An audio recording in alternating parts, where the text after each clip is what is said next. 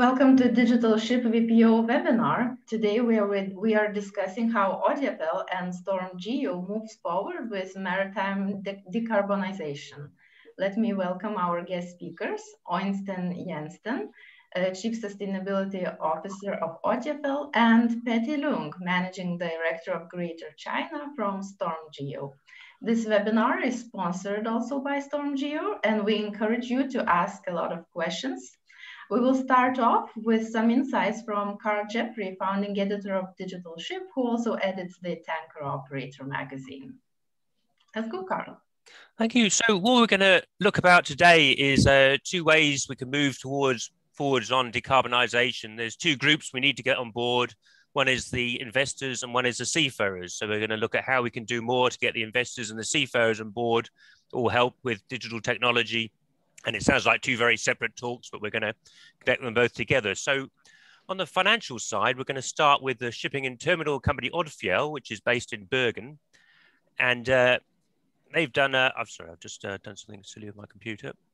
They've, uh, so they've, uh, they've recently announced some ambitious climate targets and they demonstrated their commitments to these targets by linking them to financing in the industry's first sustainable linked bond. So ex to explain what that means, the, uh, the investors in the bonds get a return which is related to whether or not the targets met.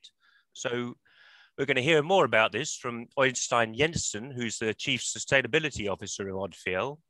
So he's going to explain the background and he's going to explain Odfjell's broad approach to decarbonisation and sustainability.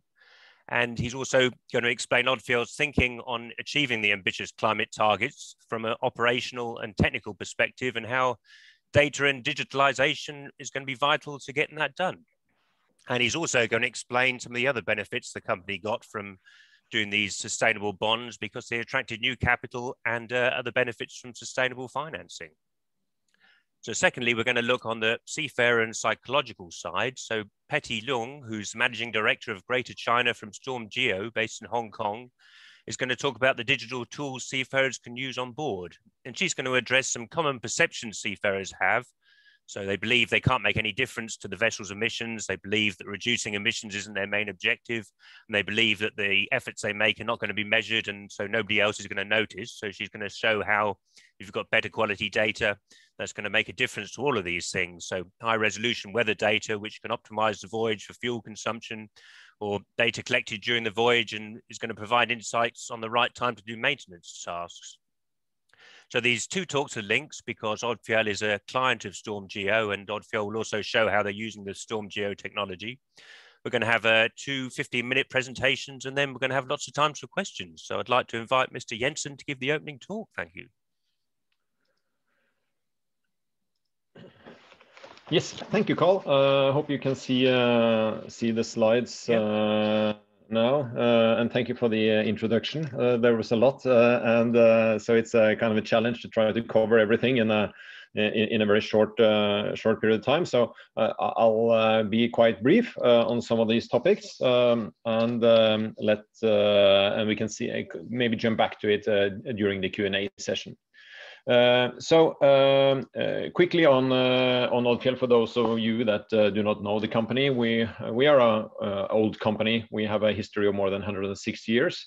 We uh, are specialized in the seaborne transportation of storage of chemicals. Uh, so we transport anything liquid around the world, and, we also transport those liquids that anyone else is struggling to carry with our specialized vessels.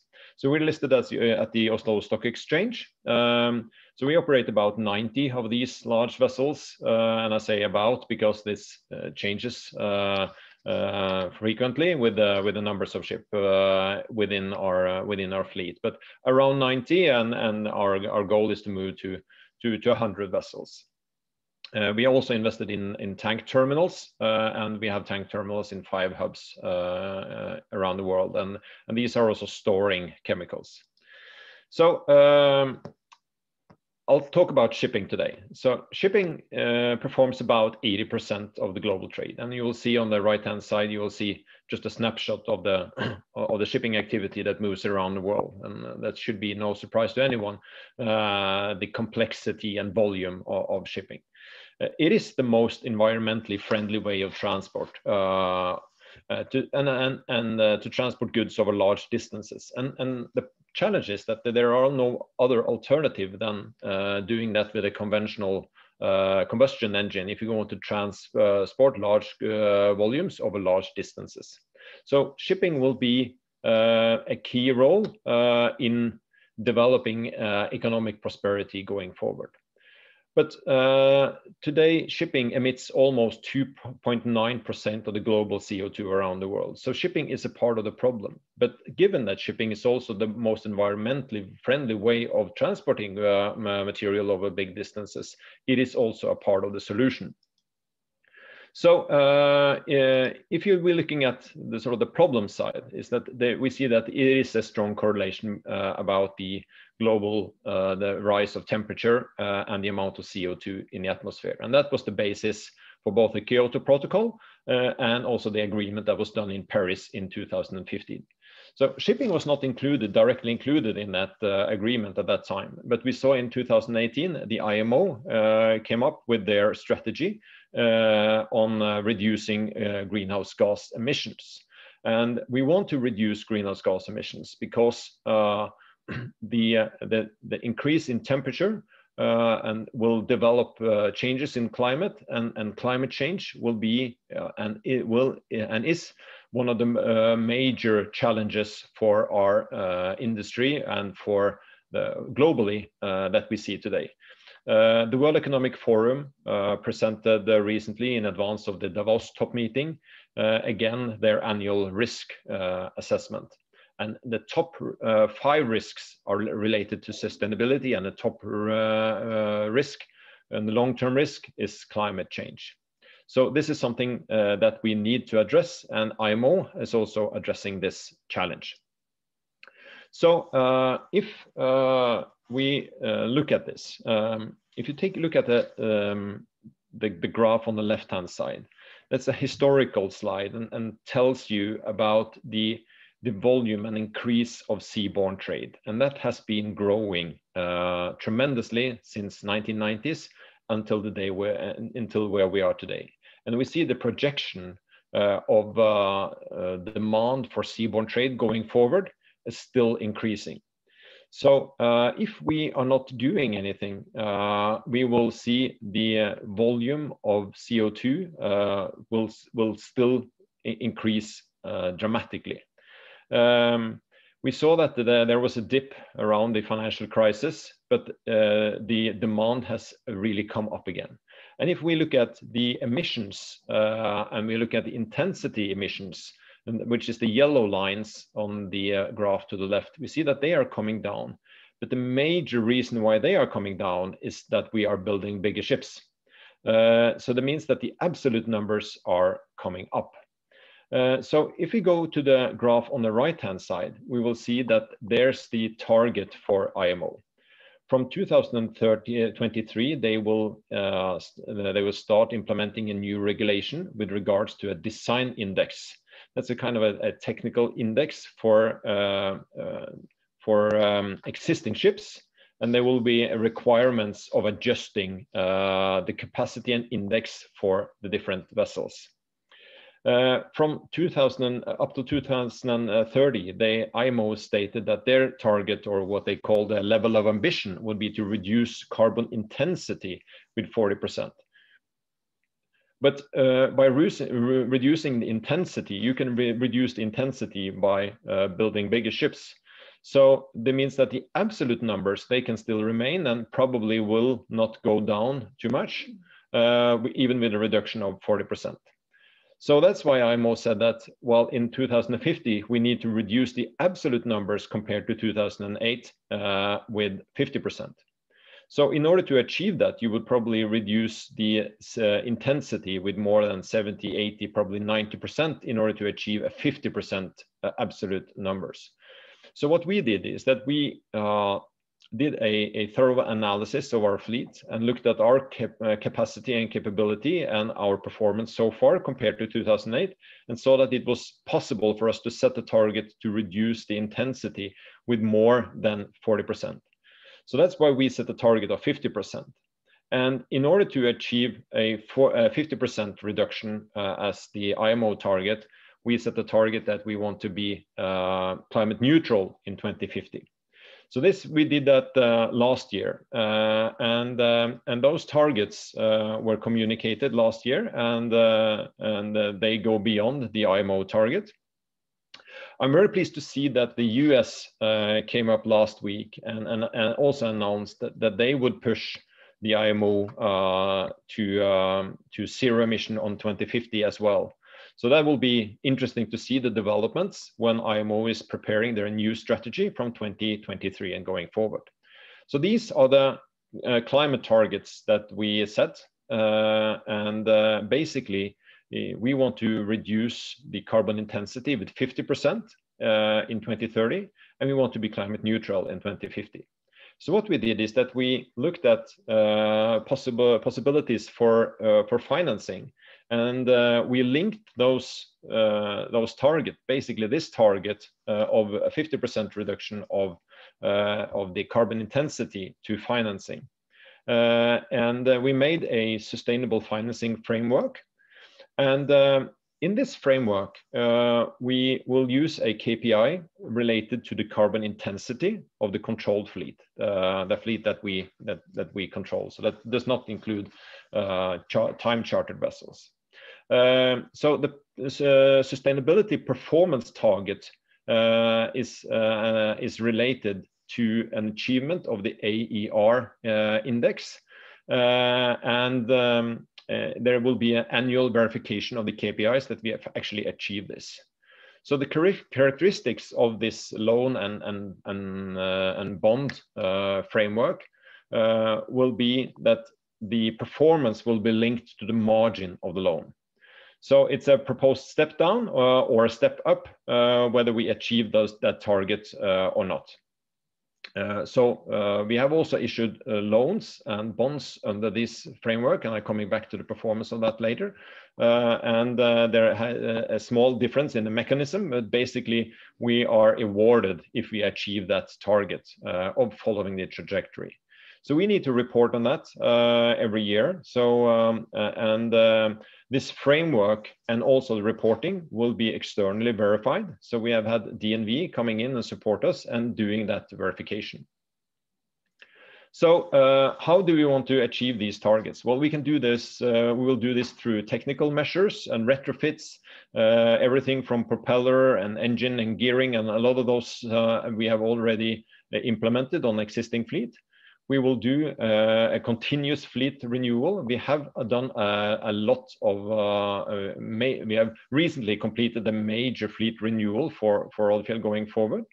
Um, that have put us in a, good position with where, we are with regards to the uh, emissions and a modern fleet. And uh, so these will be the measures that we are uh, going to do for 2030, uh, focusing on operational and digitalization. And for 2050, we have to do something else. Then we have to be carbon neutral and we have to be zero emission. So uh, with the interest of time, I, I will focus here uh, a bit on uh, the operational side and also on the digitalization side, what we are doing and what we are thinking and how this uh, matters uh, will be a part of the um, actions that we do in order to achieve the targets.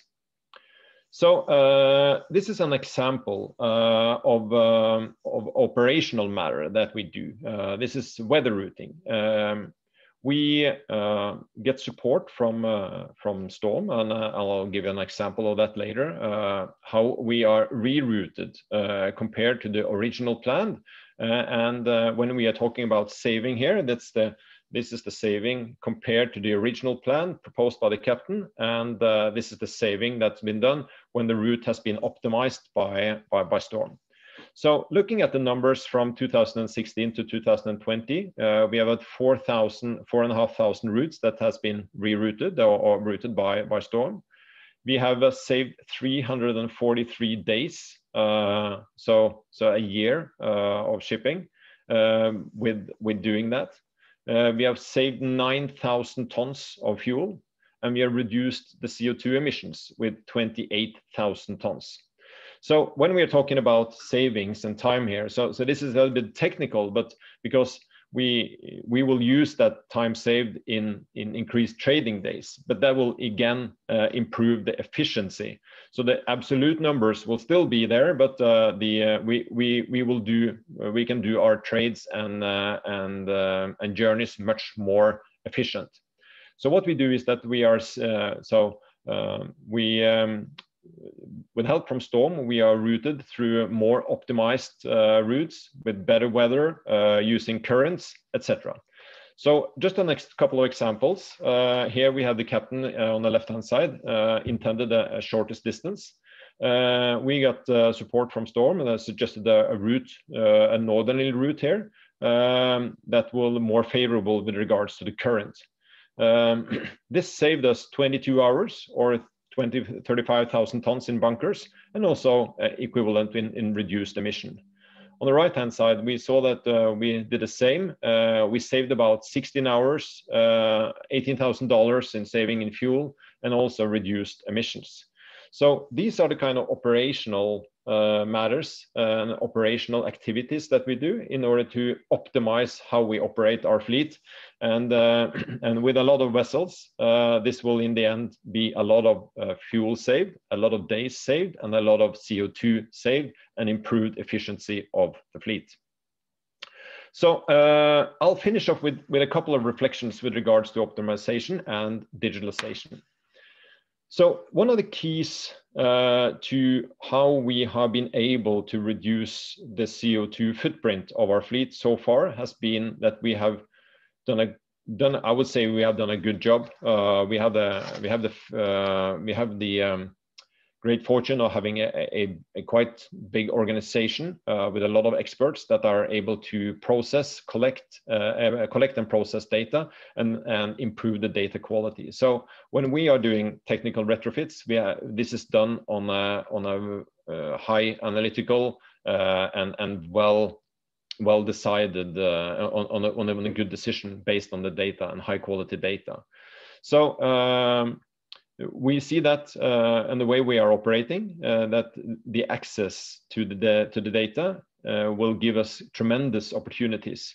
Um, but if we look at our industry today, uh, I think we will see that most most data are, are locked down in silos. Uh, they are related to the engine, they're to the performance, to the pumps, to the navigation. Um, and uh, and those data they are not really shared. Uh, and uh, in our industry we don't we don't like to share either. Uh, so we're talking about sharing be between industries and also that we are able to within the company to share the data from different silos from the di uh, different operational technical equipments. So the industry has done a lot. Uh, we have done a great developments but i think that we're still missing to see the big iPhone moment uh, of our industry, a true springboard into the digital transformation. So going forward, uh, I think that we will uh, need to see that we are able to, to connect the source data into the consumer data that enables the organization to use the, those data, to innovate from it, to create value from it, and improve the efficiency, and, and then improve sustainability. So uh, the EU is talking about the twin transition going forward. We're talking about the green transition of decarbonization, but we're talking also about the digital transformation, and those two goes hand in hand. So we need to break down those silos that's within the, all the technical data. Uh, we need to liberate those data. Uh, we need to make it available and also see the value of it. We, and we also net, uh, have to let computers do what computers are good at. So I think that technology and digitalization are vital to achieve the global sustainability goals going forward. And um, um, with that, I'll um, I'll uh, give the floor back to uh, back to you, Karl. Well, that was fascinating how all this stuff connects together. There's a lot of challenges there. So now we're going across to Wan Chai in Hong Kong. So I'd like to welcome Petty Leung, who's the Managing Director of Greater China for StormGeo, who's going to talk about digital tools which seafarers can use on board. And as you can see, all this is uh, connecting together in ways which we haven't really explored before. So I'd like to welcome Petty. Thank you. Hello, it's one, wonderful that we can be connected to many places. So good morning and good afternoon, depends on where you come from.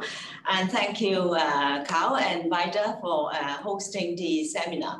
And uh, is uh, kind enough to share some of the examples that we've actually do for uh, uh for Odfjell. But for full, uh, full disclosure, what I have, I'm presenting, those, those examples are actually real life cases of StormGeo's customers. But um, so let me share my screen and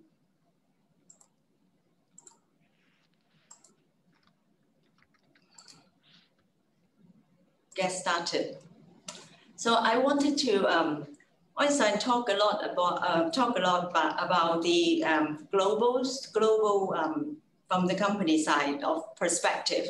So what I wanted to do is to zoom in to the operational perspective because I think the uh, men and women in the in the in the front line in uh, the seafarers are the one who have the big task of uh, the decarbonization. So we can't um, see your screen actually. Did you mean to? Oh, sorry.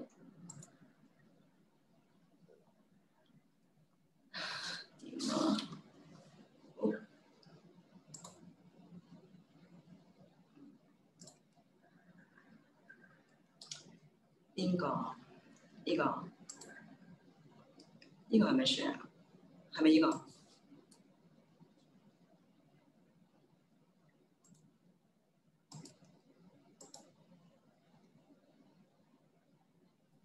Am I in? Yep, yep, that's right. okay, talk about technology.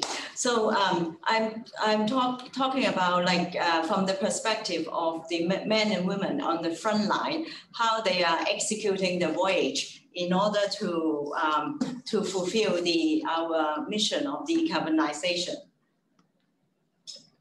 So um, talking about people, then we need to have incentive and motivation.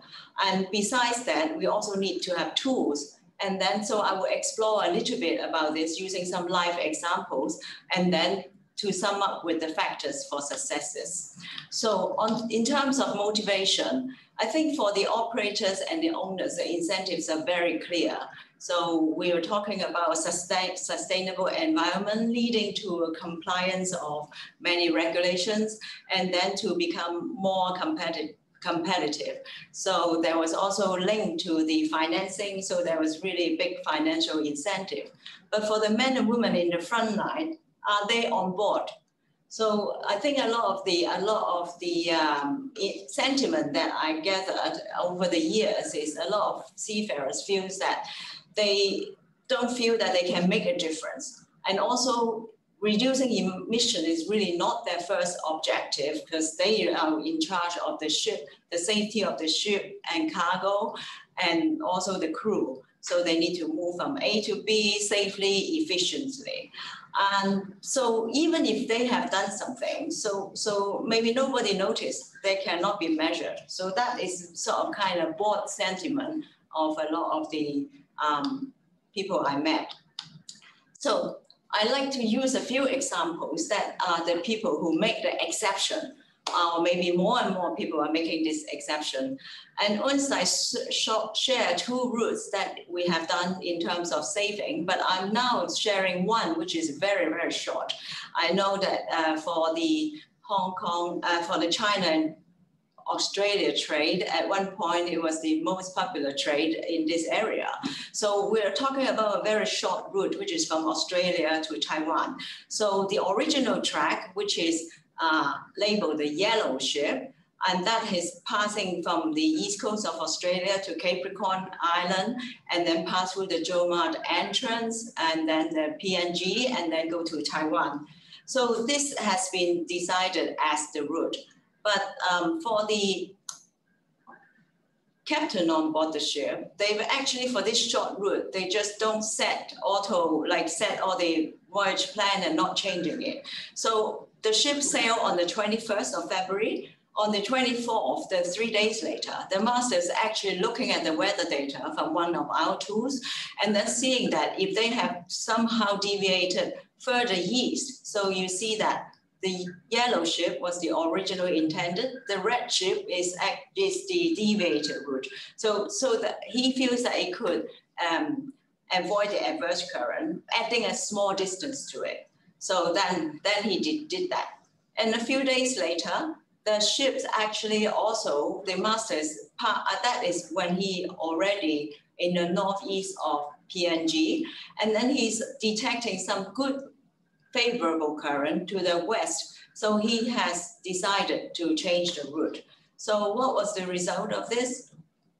The result was um, the, the compare with what he originally intended, he actually saved a six tons of six tons of uh, heavy fuel oil. So that was approximately about 18 tons of CO2.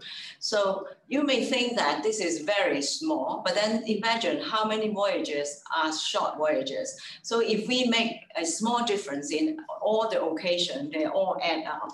Plus, if you have um, remember Øistein's example on the uh, northeast coast of Africa, there is all this current, but in fact, all those areas with the orange and yellow current, they are heavy, sometimes as heavy as three to four knots. So if you can either avoid, uh, avoid it or ride along to it, depends on your on which direction you travel to. So this is the force of nature, you can save CO2, save money, and don't cost you anything. So that was one example of an incentive by the people on board the ship. And the second one is some of the traditional thinking, especially in container ship, because the container ship has the number crit critical mission is the ETA integrity. So they need to arrive at a particular place within one or two hours. So um, the traditional thinking is they can't be late. So I better hurry up at the beginning. So if you look at this chart, the gray, small gray patches, they are the AIS position. And then the red, red cross is the noon position that's reported by the ship. But actually, if you notice the blue line, which is the recommended speed that, that is recommended to the ship. And so, and a very faint line of blue, that is the weather. So you see that the captain was not following the recommended. It was going very fast for the first five days, and then going slow, slow down because he knows that now he can make the make the ET, ETA. So compare with something like this that I just the graph that just flashed up. So they very follow the recommended uh, speed and consumption. So the result really is if you look at our rough estimate so rough estimate of 116 tons of fuel more, even though it's only a few days of speeding, speed up. So you see, this is not small differences anymore. So I think managing the speed, and I, I could say that over the years, this situation has become less and less, but they're still happening. So these are the mindset that we need to change. And so um, for the two example I shared was how the people in the ship use the uh, use the routing. But on in tops on tops of that now we have um, one of the one of the contention is um, so what? If I have not done anything nobody can see it. If I've done something nobody also nobody can see it. But it's not true. So I chose a few example and that is from our fleet performance management system. Let me just quickly explain. This is a uh, auxiliary engine capacity chart. So if you look at the green line here, it is the baseline. And then the red box is where all the uh, auxiliary engine capacity. So you see that this is all over the capacity. So at that particular time from November to January 2018, the average power demand was 908 kilowatt.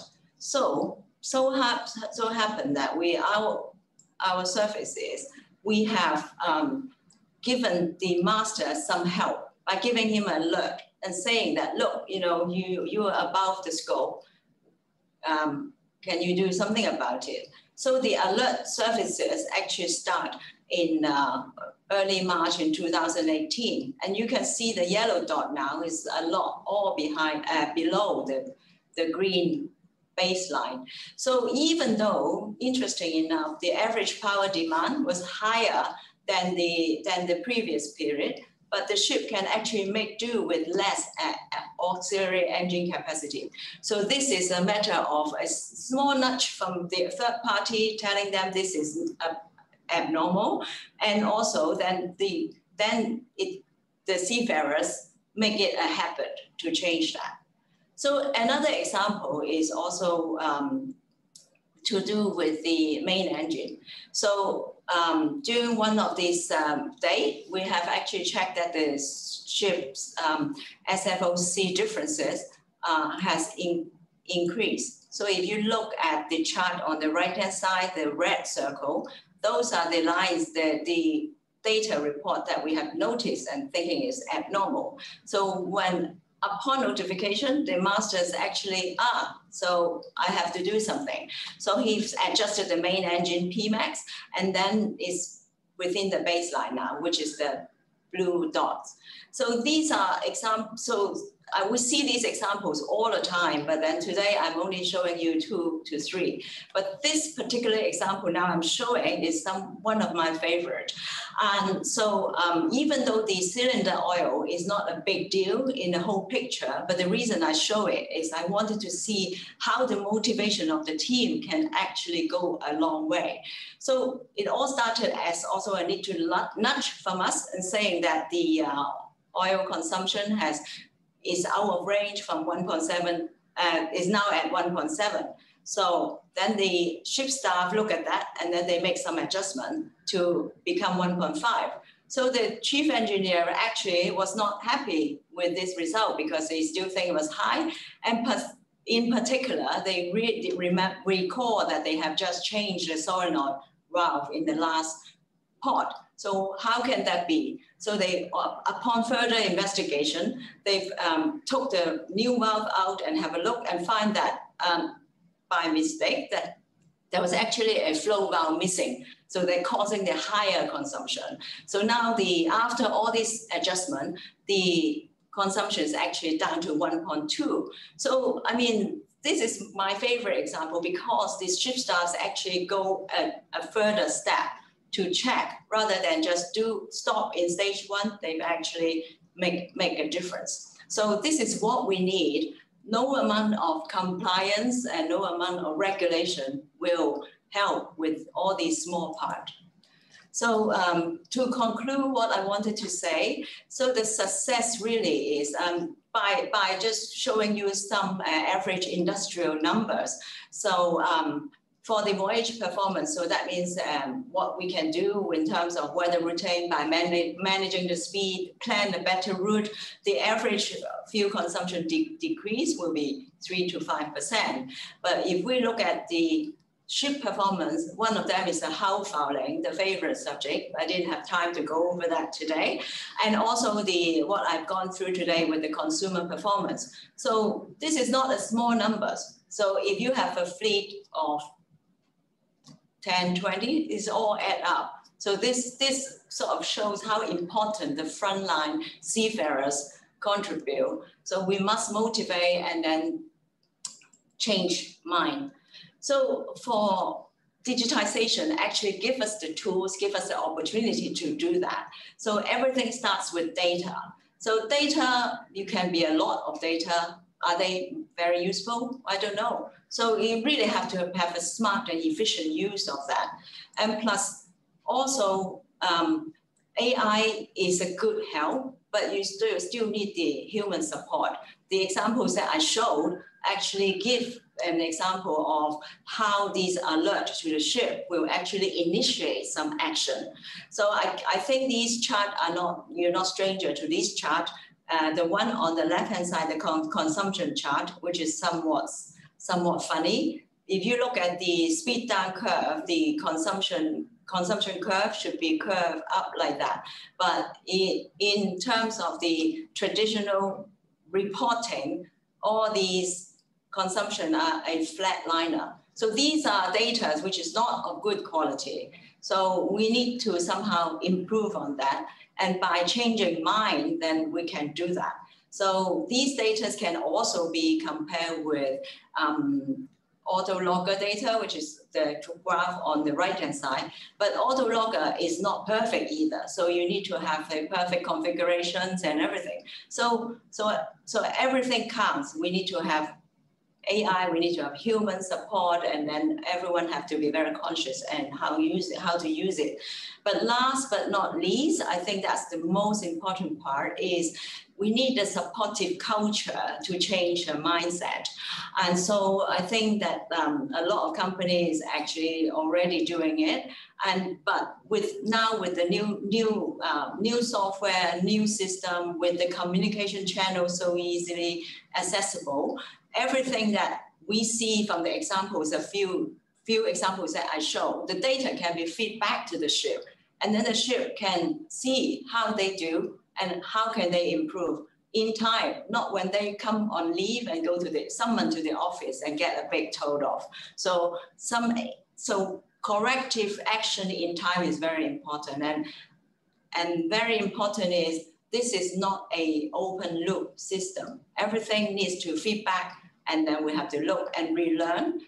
So we have to keep on this alert report and investigation. So I just hope that StormGeo can be part of your plan in doing this. So, so much for now. Thank you. Wow, that's fantastic. I think what we've seen here is an amazing vision of how we connect the investment world with the ship operations world. I was just thinking about how many times in our conferences over the last 20 years, people have been lamenting how these worlds are so separate and how in the uh, there's so many things we could do on board ships if any of the investors would support us and maybe we've got a route route to doing that. So um i'd like to invite everyone to open the q&a box on your computers. You, will notice that um Øistein's already answered some of the questions but um maybe we'll start with the questions that haven't been answered and then we'll come back to some of the others perhaps later. Um so so top on the list um we always get lots of questions about data collection at our events even though we haven't actually discuss that very much, but uh, Anton Zakharov has, has one upvote, you know, he's at the top of the list. Do we need high frequency data? Øistein, is that something, is that within your realm of competence? I don't know if you get involved in data collection on ships um, or your, is that a? Well, um, uh, yes. Um, I think that uh, uh, going back to, to one of the answers that I, I wrote in the chat, I think data collection, uh, as, as, I, as I said, um, a lot of the data is available today, but it's locked down in different silos. It's locked within a different system. It's, it's connected into navigation system. That's a separate data. It's a communication system. That's where you have the data.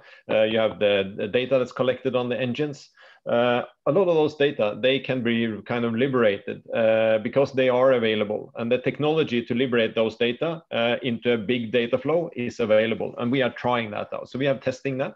Uh, we are able to gather i think about 20000 data points every second from one of our vessels uh, one of our new modern vessels. And we see that the opportunity and possibility for retrofitting both with sensors and data collection uh, systems are really there.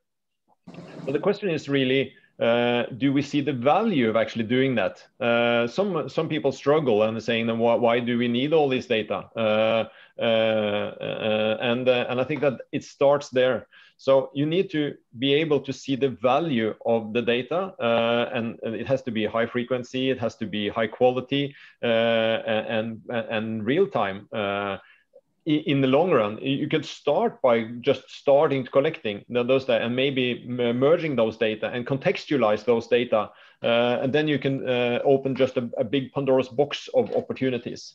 So yes i think that uh, it starts with um, uh, companies uh, really uh, starting to to believe that the that that data has value. And then we need to do the sufficient investments in doing that. Those things are not they, they are not major costs of actually doing that. I think it's more like a a, a cognitive threshold that you need to, to need to pass. You need to understand and believe that these data can could have value for you. And then you can connect that uh, and then you uh, need to be in dialogue with your providers uh, engine providers and others and, and and see how can we each, how can how can those the data be merged within the company within the ship and you can get them uh, uh on shore and you have the, much more uh, possibilities to to to analyze it Uh, and when we are moving now into uh, cloud computing, you make those data available. Those data are available in the cloud, and that can easily be shared. So I can easily share data with my engine provider, uh, with pump providers, and and and we can uh, we can use those data for uh, further efficiency and further improvements. So um, uh, so we are we are on the test phase of, of this. Uh, we are able to do that with a with a small selection of vessels, uh, and we are building, trying to build good use cases and how this can be scaled up. And we also see that the the, the possibility to scale that up uh, is there as well. So I think it starts uh, again uh, with on the human side that you need need to realize the value of those data, uh, and it, and it would be easier than a lot of people believe to collect those data and and make use of it. And in the end. Uh, that can improve efficiency and improve sustainability. Uh, so, so when we are uh, when I'm talking about that big iPhone moment, I, I think that we're not there, but I think we have the absolute possibility to do, to do so. Yeah, it's incredibly. Oh, go on, Petty may our perspective. Um, in terms of data, we don't have all varieties, but we do have a lot of ship performance information relating to weather, changes and everything. So we are in we are in use of these data, but then we're also very careful to protect these data's uh, origins. So um, now with the with the big data, with the AI, um, in, in, artificial intelligence, we can actually make good use of this useful information without infringing any, any anyone's right. So um, we are routing many ships Uh, many voyages at any at one time. So those can, can have helped us a lot in preempting the changes in the weather and also the how the ship responds in the speed loss response. Oh, it's an incredibly difficult, I mean, not only a technical challenge, it's also a modeling challenge, putting all these, you know, getting from having a data about a auto logger to getting a annual efficiency rate for a, an investor. I mean, there's such a big chain of complexity. I don't think anybody's even done it yet. Uh, but uh, but I suppose talking about the need for it is maybe the first step of, of doing it, isn't it? I don't know. Uh, are we anywhere near even technically being able to do this? so, uh, we are uh, in, in our uh, sustainable finance process. Uh, we uh, we um, set ourselves uh, targets on the AER and the carbon intensity indicator, and I, I, responded earlier why we select the AER. It could have been any other indicator. Um, and um, and we first of all we need to explain how that works also for the investment community, but now we also need to to report on that to the investors. So uh, we will now develop a more frequent reporting. We report annually, and the progress and that is available is available on our website. The whole uh, the whole framework is, uh, that we have set is available on our website, and also the annual progress reporting uh, on uh, on our website. And I think that um, the uh, a lot of banks now have gone have been uh, to gone together uh, under the Poseidon principles uh, to to measure their climate alignment of their portfolios.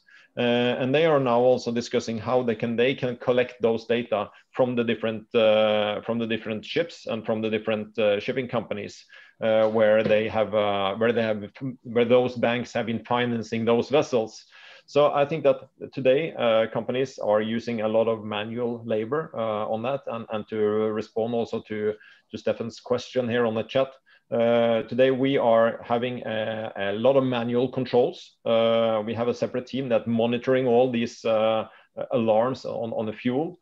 Uh, I think that that is one of the points where I think that we should look at what we should let computers do, what computers are good at. Uh, but we need to have access to high quality data, and it's easier to use uh, machine learning or artificial intelligence on top of that to detect anomalies and, and ensure high quality data flows. So we spend a lot of time with preparing the uh, MRV reporting and DCS reporting to, uh, to um, uh, IMO and to EU, and also reporting to the banks. And I think that uh, as soon as you can be able to certify the data flow or high quality data, you can let the computers do that, uh, and uh, and the audits of it can be on electronically, and you can improve efficiency by doing so. Oh, okay. So if we go next to Niels Kiergaard's question, he's asking how you define carbon neutrality. I think offsets are going out of fashion these days. I don't hear much about them, but I guess we're talking about ammonia or hydrogen or some kind of cap carbon capture on board. Is that what? Yes. So, so in our uh, in our plan, in in uh, in our trajectory, uh, that's a AER trajectory that has been based on a fleet transition plan that we have prepared. The content of the fleet transition plan will be various retrofits, energy improvement, in order to achieve that target. So it does not include any offsets or use of biofuel. Uh, I don't believe that biofuel will be the solution. Uh, it's uh, uh it's dependent of, of a lot of uh, different factors, whether you consider it from a tank to wake perspective or what kind of carbon reduction factors you want to use. Uh, so I think that biofuel could be an, an opportunity. I, we won't say that that is not that is not the opportunity, but um, I think for a full scale shipping, for biofuel, there will be a, uh, there will be a struggle of producing that amount of biofuel. So, so I don't believe that biofuel will be the, the solution. It could be a part of, of, solutions going forward. With regard to offsetting, I think that uh, that is uh, not included in our calculations. Uh, the um, that is something that's heavily discussed discussed at the political level. We expect that uh, there new regulations from the IMO will come this summer with regards to implementing shipping in the emission trading scheme. We saw China now uh, wanted to include shipping in there, the biggest world's biggest emission trading scheme. Uh, we see that that regulation was was also uh, proposed in the US before the election. So with the new administration, it's, it's quite likely that we will see uh, that, that as well. Um, we believe that uh, taxation uh, would be a, a, a or market-based measures would be a, a very good solution uh, to sort of push for decarbonization, but it has to be done on a global scale, and and and uh, uh, we believe that that has to be run by IMO. We are concerned about regionalization over regulation, that you have a different regulation in different regions, especially for a company like us that operates globally. Oh, sounds great. Okay, so next, Stefan Tunger, who I think is managing director of OSM in Denmark. I think this is perhaps for you, Petty. So he's talking about alerts sent automatically from the system.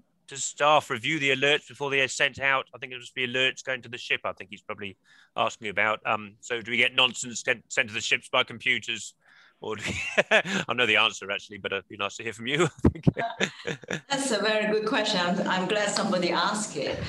And so, if if the the alert, of course, the front front processing is automatic, but then all the all the uh, alert has to be scrutinized by our expert staff in the performance center in both Hamburg and in Singapore. So they will look at each of them and then actually do a bit of a um, analysis before we actually send it out. Um, like all those examples I said, the alert was sent at the same time to the ship as well as to the superintendent. So it really depends on who. Sometimes the master would or the chief engineer would have deal with it. The other time, maybe the ship uh, ship managers or the uh, managers have to uh, help out. But we absolutely do not send it out automatically, all of them.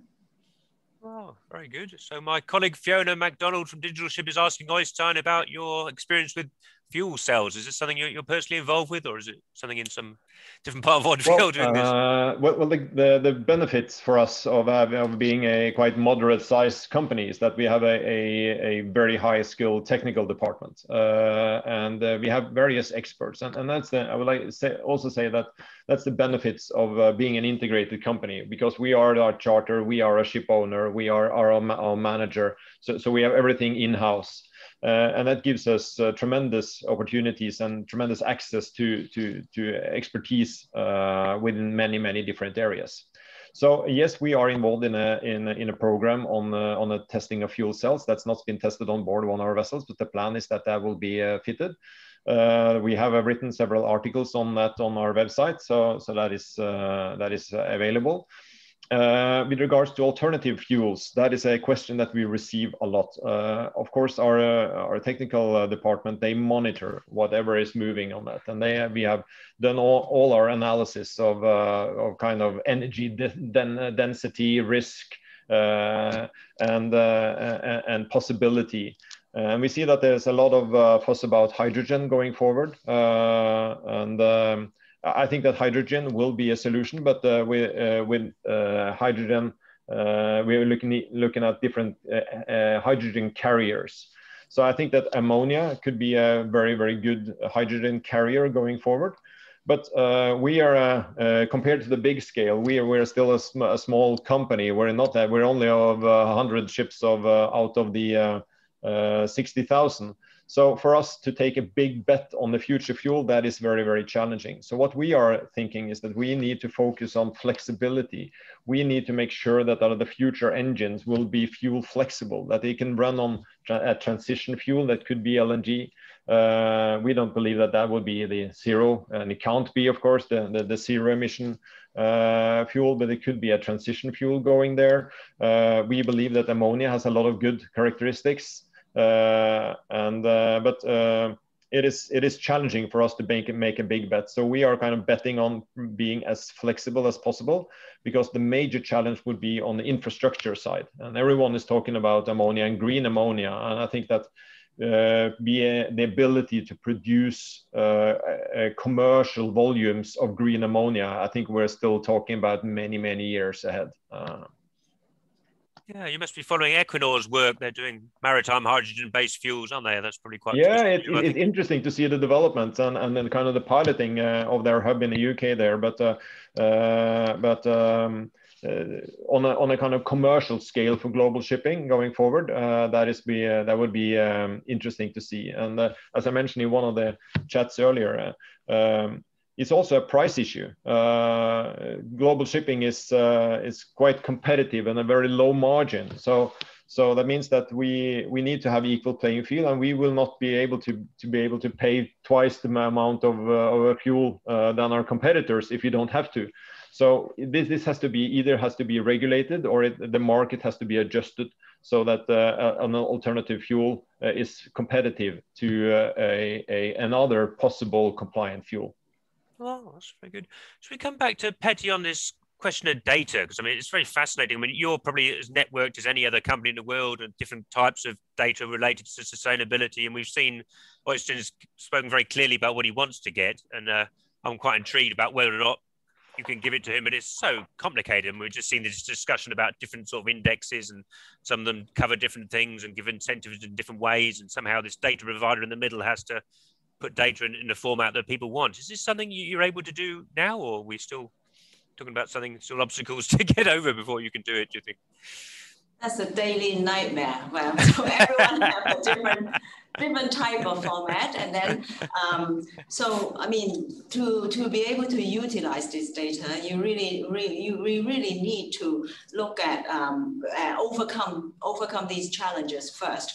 But I think it's important that to distinguish good quality data, not um, not not necessarily if you have more data, then it's good for example, with the uh, high frequency data, so we you collect it every few seconds or 10 seconds.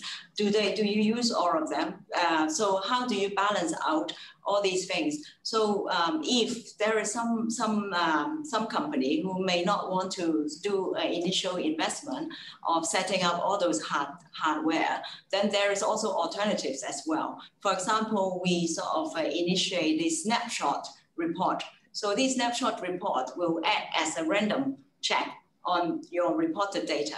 So that will give very good, good idea how the engine performs. So there is a lot of challenges that we are over, overcoming every day. So, but then we are, we are fast integrating all this in one platform in order to be able to help. But uh, I think, I think the, the data belongs to those people who generate it, but we wanted to make use of it in an anonymous, anonymous way. So that is another big challenge. And so like the way that uh, Øistein created these saving reports, which is amazing. So you cannot do it without some in-house knowledge. So we can only do it in one level. So without other information, we cannot produce um, comprehensive one, like how Øistein can do for their for their own fleet. So we we are open to help customers and so to do what, whatever we can. Yeah, I mean, I mean, the scale of the challenge, I guess we're just even seeing now. I mean, there's totally different challenges gathering data from a ship, and then the next stage when you bundle it all up. You know, I was quite surprised. I was looking at EEDI. There's no way to bring in weather routing to EEDI because EEDI just covers the the power of the ship. I was quite surprised to learn about that yesterday, but nobody seems too bothered about that. I suppose there's other indicators that, that bring in the carbon intensity. I, I, suppose maybe there's not much more to say about this, just that we need to all understand how, how hard a challenge this is. I, I don't know if any... But the, the EEDI is more to do with the design index. Yeah. So um, what StormGeo set up is to help with the operation. So with what uh, like the AER, there is part, certainly part of it that we, we can we can help. So um, don't forget the shipping, besides reducing um, emission, we still have a commercial interest to fulfill. So it depends on how the ship was being operated, what business model for that particular voyage. You cannot always do the same thing. For example, um, if you, I mean, of course, if you don't move, then then you have zero emission. It's like last year, 2000, 2020, I think the emission has dropped in, um, so significantly. But um, so we that's why we now now looking at routing in a holistic way. So it's not just one way. I mean, when I first started in the industry, it's always like the shortest route, shortest time. It's not always like that now. So you have to balance what is the charter hire rate, what is your fuel consumption, and then whether you have a commitment to make, whether you need to arrive at a port at a particular time. So it's a lot more complex. So, but then our philosophy may be a little bit different from most of, uh, a lot of uh, other company is like everybody have a system but we have our expertise behind who can sort of analyze, just like the questions that the other gentleman asked, whether we're looking at the alert before we actually automatically answer them. So we pride ourselves in having the human expertise behind. Well, that's great. Well, we're coming up to the hour now, so maybe we'll close the Q and A. Maybe if, if you'd like to make any any closing remarks, maybe Øistein first, and then Petty, for like a minute. Yeah, I think um, uh, I, I uh, we, are talking a lot about the challenges uh, here and the challenges and risk, but uh, but I wanted to to to sort of kind of leave on a on opportunity side, uh, and that's why my my point as well. I think that. Uh, our efforts uh, on sustainability, being able to link it to financing, have reduced our capital cost. We have seen tremendous opportunities by uh, by doing something no one had done in our industry previously. Uh, so that is a great opportunity and we can we will still uh, investigate uh, how we can link financing and how that can be merged together and, and also with the taxonomy moving in the eu we will also see developments on, on, that so i see that there's tremendous opportunities there uh, we're going to solve one of the major problems that we uh, that we don't have a, a great solution uh, for today, and, and, we're going to solve that. That gives fantastic opportunities for young people, for for new thinking, for new technology. Uh, we're going to uh, to decarbonize shipping going forward, and we need to do that. Uh, and so, if you're going to work within our industry, they, this is really really amazing times. And I think um, uh, uh, Larry Fink, the CEO of Bloomberg, he uh, he wrote to his all his CEOs and saying, well, this is this is the historic investment opportunity going forward with the opportunities that that's ahead and also my points on my kind of reflections and thoughts on on uh, on data and data sharing. I think that we are, as I said, uh, the moment when we have those data available. Today we don't really know how to do that and how to handle it and what to get out of it. But as soon as we get it, uh, it's possible to to uh, to see great opportunities, and then we get, get can get new players coming in to sort of uh, and tell us, hey guys, this is what you can do with all this data. Look at the value it can bring. So uh, we're going to see new technology in engines. We're going to see further digitalization. We're going to see integration of financing. Uh, we're going to see new talent coming on board, uh, thinking new ideas. So uh, I wanted to leave on a high note uh, with regards to the challenge that we have discussed today. Well, that's absolutely fantastic. I don't know, Petty, you can do anything to add to that. That was. actually, I think that uh, I, I can't I can't agree more because shipping. I, I, my experience, we always have a bad rap, you know. But then actually, there's a lot of things that we have done, and also like Øistein have rightly pointed out that it is a very efficient in terms of um, emission uh, weight of transportation but nobody just think, nobody just realized that. So now it's an opportunity for us to actually really go out and tell people what we can do and do really do something. And I'm more, I'm more um, encouraged now working with uh, with the customers, the seafarers in the front line, um, with those examples I, I showed you. And so we are actually helping these people to to get to uh, make make their effort known for people like uh, Øistein in the company because that, that that is the small effort that everyone does and that uh, so so in our part of our data we also linked may, we could actually link the performance of individuals kind of in a way to how much they have done in terms of emission or initiatives. So this this will this will help and then we're always doing that Oh, this is the most upbeat webinar we've ever done, I think. So I'll pass back to Vida for the closing words. Thank you. Thank you, Karl. So there were about 200 of you connected today. We hope you picked up some ideas how you can get closer to your decarbonization goals. Two days from now, on Thursday, we will present you a case study from REM Offshore, how they use wireless communications on board. Register if the topic is relevant for you. And now Digital Ship is switching off. Be safe. Bye. Bye-bye. Bye-bye.